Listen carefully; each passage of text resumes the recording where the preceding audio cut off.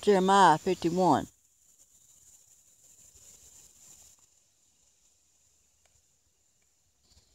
I'm not medicated, therefore I can cipher the Bible. The Holy Spirit explains to me what it means, not somebody else's meanings. Okay?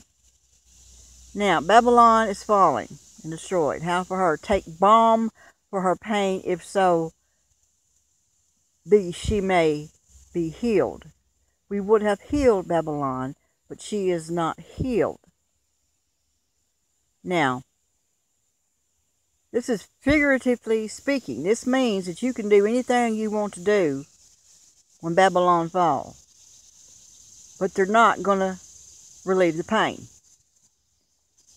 Okay? A balm is like a salve.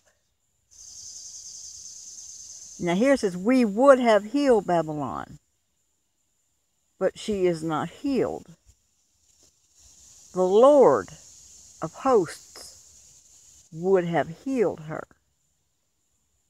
But it was so much evil, it's too far past gone. There is a point of no return.